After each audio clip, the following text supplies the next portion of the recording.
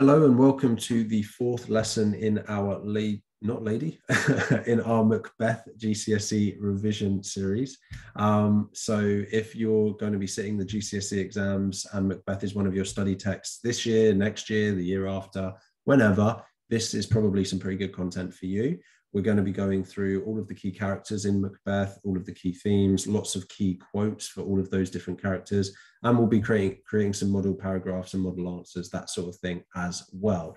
So um, in previous weeks so far, we've covered Macbeth, Lady Macbeth, Macduff.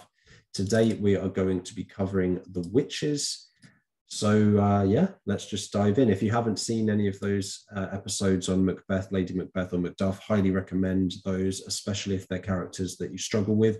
Even if they're not, I recommend the video because there's probably something in there that will help you get an extra layer of knowledge about these most likely characters to come up in the exam. So the witches, the witches today. Let's start as usual by talking about who they are, what they are, what they do, that sort of thing. So the witches are effectively three weird sisters that, um, for whatever reason, decide that they want to corrupt Scotland. And I say whatever reason, the reason that the Jacobean audience would have felt is because witches, witchcraft, the supernatural, all of this stuff, they would have believed belonged fully to Satan, satanic, you know, just trying to destroy the world and, and destroy humanity as best as possible. So that's the reason why they take Macbeth, who is this, you know, fallen hero in the in the tragic story, right?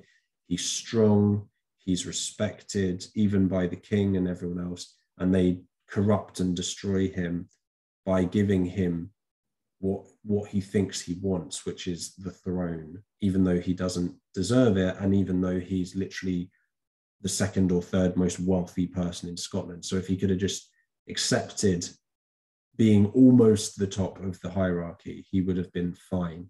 And obviously, Lady Macbeth is part of corrupting him as well. And it's himself as well choosing to do these things. They represent evil and sin. As I said, they particularly link to the Christian idea of Satan. This idea is that there's like a hierarchy of evil. Effectively, you've got sort of Satan at the top or the bottom, depending on how you want to look at it. He's the the the you know the author of all lies and evil and stuff. And then you've got certain creatures and and minions so to speak of of him. So the witches would be seen as one of those evil minions of satan. And it's interesting because at the end of this play one of the characters who is attending macbeth is called Seyton. Not satan uh, s-a-t-n but instead Seyton s-e-y-t-o-n like that. Okay. The Jacobeans would have believed strongly in all of this as well, as I said, and partly because the king, James I, at the time, the sort of very early 1600s, like 1603, 1605 is an estimate of when this is written and performed. Uh, James I was a very Puritan king, and he even wrote a book called Demonology, which was trying to categorize all of the different supernatural beings like witches and wizards and fairies and elves and whatever. So, so there you go. You've got this interesting situation there.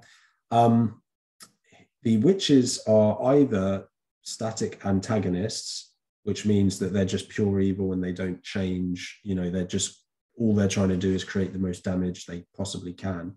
Or you could see them perhaps as foil characters. So a foil is a character that basically sort of tries to get in the way of the hero. I uh, and obviously that's what they do. They get in the way of Macbeth and Lady Macbeth by tempting them and telling them that they can be more if they're willing to do bad things and submit to evil. I typically lean more towards the idea that they are really the true antagonists. But what's amazing about Macbeth as a play and what's so, you know, so clever, I suppose you'd say, about the way Shakespeare wrote this is even the heroes are sort of antagonists here, right? Even the even Macbeth and Lady Macbeth, who were like the heroes, kind of the main characters, they're really evil, and the evilness of them comes out. Um, and it's all because of what the witches do. I want to go through some stuff to do with witch witchcraft and witches just because I'm not sure that this is taught well enough. And so contextually, you know, it's easy to talk about the witches as evil and corrupt and all that stuff, and, and that's right. But I think that you should also be able to link it to specific witch context. So, you know, around the time that James I was doing this was still the early stages, but still pro- there was prominence to witch trials, and witch trials were becoming more and more of a thing. So, what is a witch trial? A witch trial is effectively when I think it was something like 90 plus percent of people uh, who were tried as witches were women. There were also warlocks, which is male witches, male witchcraft, but the vast majority of cases, it was a woman, often an older woman in the community, often a slightly, let's say, eccentric woman, a woman who maybe was widowed or not that that makes you eccentric, but just someone who was like slightly on the fringes of the village, or possibly someone who was a nuisance for some reason, and or just a bit odd.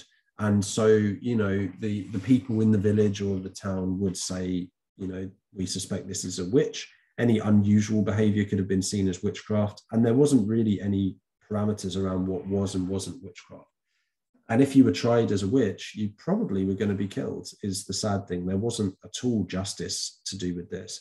So I'll just go through a couple of the most famous ways that witches were tried.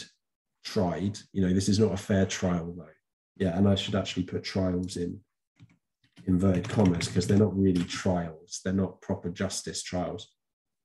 They would be thrown, they'd be tied up and thrown in the water in a lake, a river, whatever and if they sank, then they were seen to be innocent, but they would get to die a good Christian death. That's literally what they said.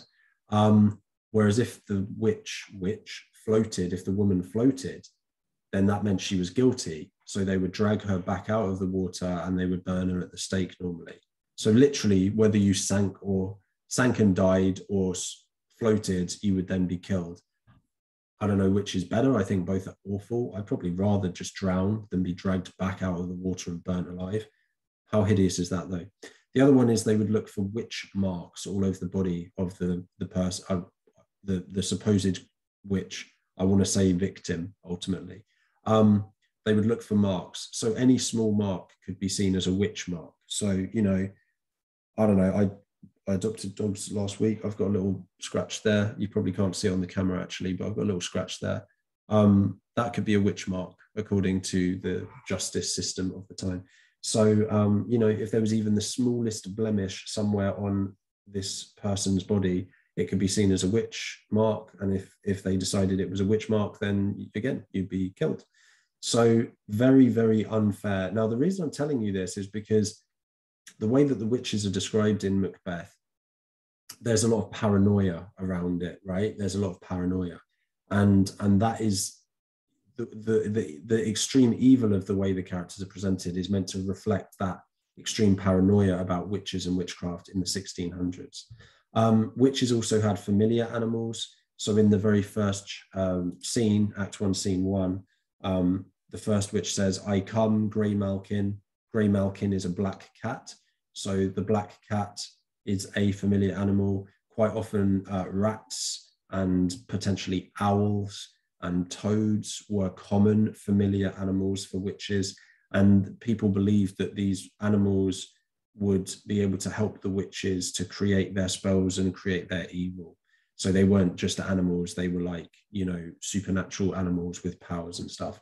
Um, the witches are also obviously known for potions and spells. So the way that the witches speak uh, throughout the play is in rhythm and rhyme. There's iambic meter normally. So like fair is foul and foul is fair. Hother frog and filthy. Yeah. Right. You've got this rhyme and rhythm to that, which was meant to link to the chanting and the spells. In Act Four, uh, Scene One, there's this big cauldron, which is this like big black pot that they're doing these potions and creating magic in. All of this is stuff that that Jacobean people literally believed was real. Um, and then obviously the other thing to do with the witches is that they influence Lady Macbeth and Macbeth. So that's another big part of them. Actually spent longer than normal on that section. So anyway, lots to say about the witches. So let's go into some of the quotes for the witches. Got quite a few, and then as usual, we'll try and finish up with a model paragraph. So, um, yeah. So one of the first things. These are all out of order, uh, which is normal for me. I try not to just give them to you in chronological order. So when the witches first see Macbeth, they say, All hail Macbeth, hail to the Thane of Glamis, all hail Macbeth, hail to the Thane of Cawdor. But the big bit is the all hail bit, because this is false hailing, this is false um, celebrating, and this starts the hubris of Macbeth he likes being called king. He likes being called Thane of Cawdor. He likes this power and presence that the witches give him. So even that tiny little quote there is in a nutshell how the witches operate. What they do, and this I suppose is is is what people would have believed about the witches. What they're doing is they're creating um, a false version of the world that the person actually wants to be true. And that's how they tempt, that's how they tempt into evil, right? And that links very strongly to, you know, the the background of the play, because this is a time of everyone being Christian, like 99 plus percent Christian nation, Jacobean England. And they would have understood that a lot of the way that Satan works is through temptation, trying to tempt. So, right here, this idea of all hail Macbeth, you're going to be king it's that temptation, right? Tempting him to do this. Um, Banquo talks about them as weird women. I love the alliteration of that. And I fear thou played most foully for it. So Banquo is, is the opposite of Macbeth. We see in Banquo the fact that he resists the witches and the reason why that's important is because Banquo was meant to be an ancestor of James I. So James I, watching Macbeth in 1605 or whenever, he would have been really happy to see his ancestor depicted as this like brave, moral character who does resist the witches and doesn't give in to their temptations. Because they do tempt him. They say that his sons will be kings in the future. I can't think of much that would be more tempting for me than being told that my children were going to be successful at, at something, I'm probably more likely to do something stupid. I don't think I would kill a king, but still to, to make a bad decision for the benefit of my children than even for the benefit of me. So there you go. Um, double double toil and trouble fire burn and cauldron bubble. This is just a nice example of that rhythm and rhyme that i was talking about. So double double toil and trouble fire burn and cauldron bubble. You can't help but say that with rhythm and rhyme.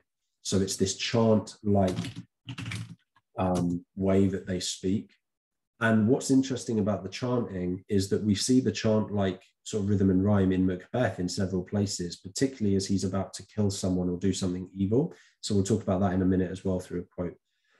Um, nothing in life became him like the leaving of it. Actually, that quote isn't meant to be here, so apologies for that. Fair is foul and foul is fair. This is obviously paradox, it's also juxtaposition. And this is a good way of thinking about the witches. So the witches are a subversion or a flipping or an inversion of morality. So to them, things that are fair, so good, are foul, which is bad. So fair is foul, good is bad, and foul is fair, bad is good, right? So that's their whole mission is to try and flip things around. The Jacobeans believed in the chain of being. So if the chain of being was broken, then in effect, the world does get flipped upside down. And that's what happens in this play as well. Okay, false face must hide what the false heart doth know. This one here is Macbeth, but what we see in this quote is just how Macbeth has been changed basically by the witches. Let me just make this a bit smaller. Macbeth has been changed by the witches, and so he's willing to use deception and lies, which is exactly the way that the witches work deception and lies.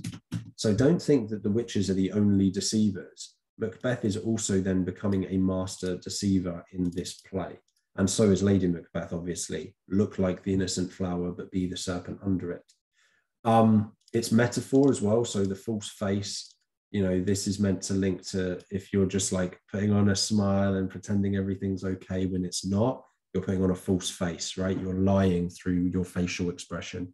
And then the false heart, your heart obviously is like your often we think of it as a symbol of your like your morality and your your your emotions so if your heart is false if it's a bad heart basically it suggests that they have evil intentions in their heart they are false people they are bad people um, let not light see my black and deep desires. This also is a parallel to the witches because of the fact that the witches almost always operate in secrecy and darkness.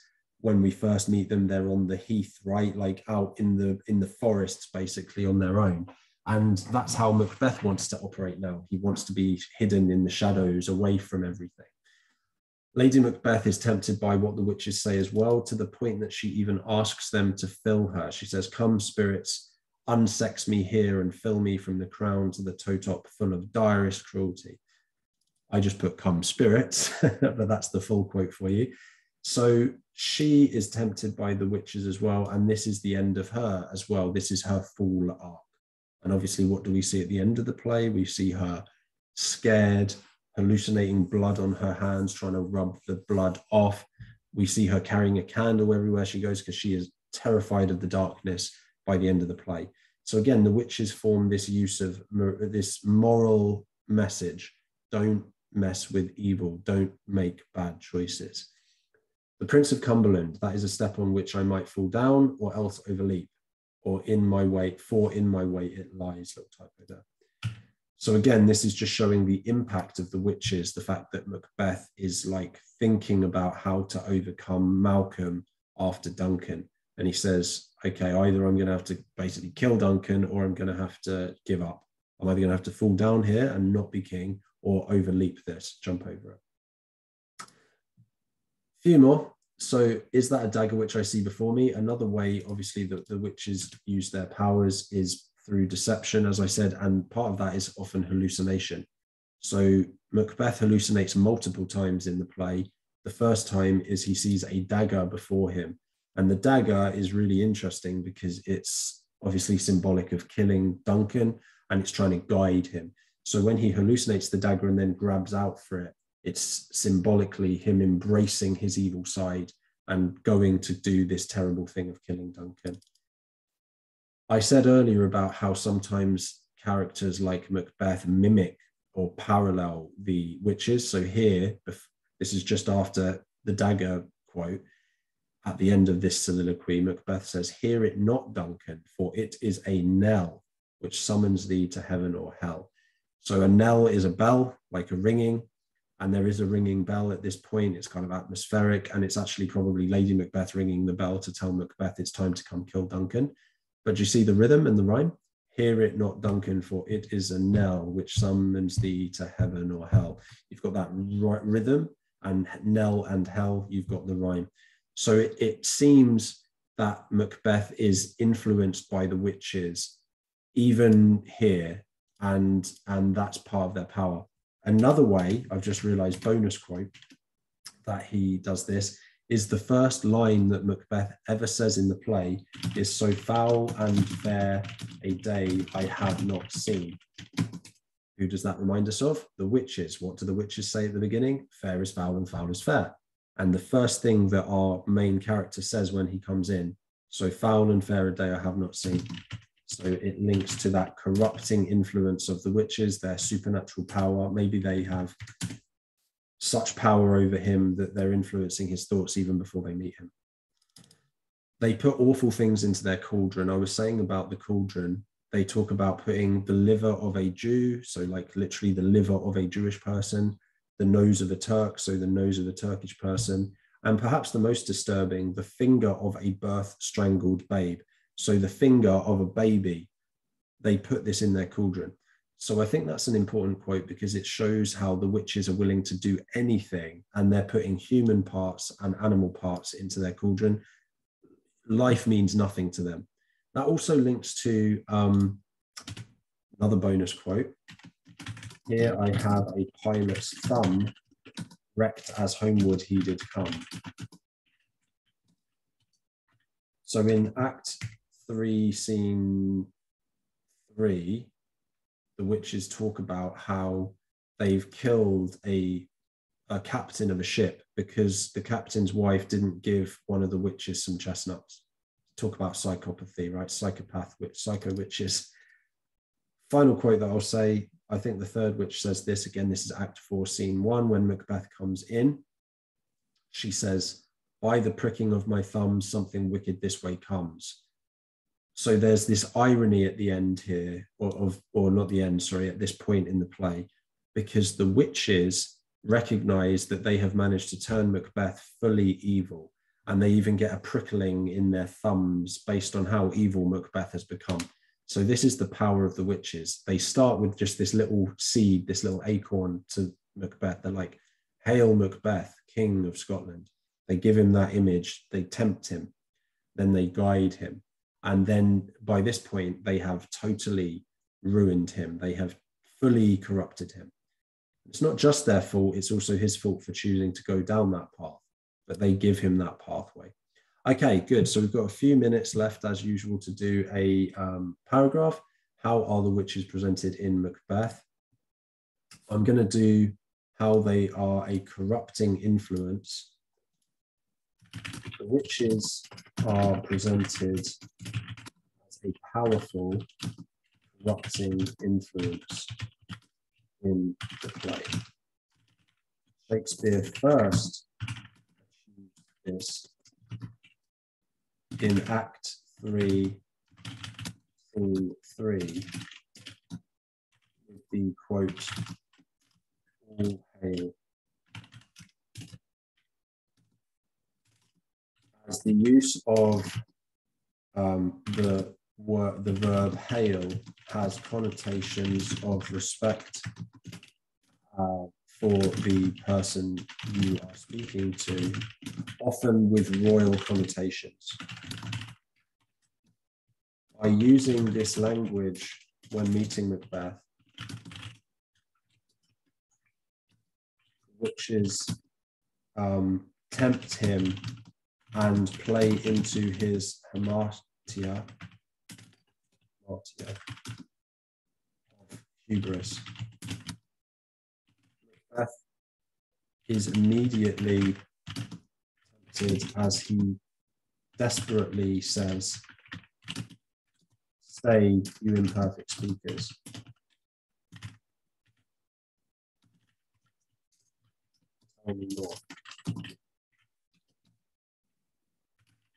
Um, the most scary, or uh, the most, yeah, scary intimidating part of this is the fact that the witches seem to be able to tell the characters the exact um, the exact phrase to tempt them, um, except Banquo. Later, in the play, we see that this corrupting power has totally taken effect. Ironic line, so this is irony. The pricking of my thumbs, something wicked this way comes. In which the wicked thing is Macbeth. To imagine that the witches have fully corrupted this man to the point that they see him as evil shows how good they are at uh, corrupting, being a corrupting influence. To the Jacobean audience, this would have been terrifying. this is significant because King of England in the early 1600s, James I, even wrote a book on the supernatural called Demonology, in which he catalogued and warned people of the dangers of the supernatural, such as witches.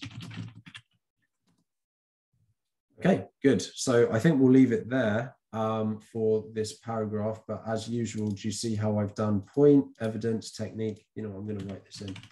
Point, evidence, technique, explanation, reader response, context. So there's a paragraph. Um, if you have any questions, please comment below. If you like the video, please give it a thumbs up. And um, thanks very much. I'll see you in the next one.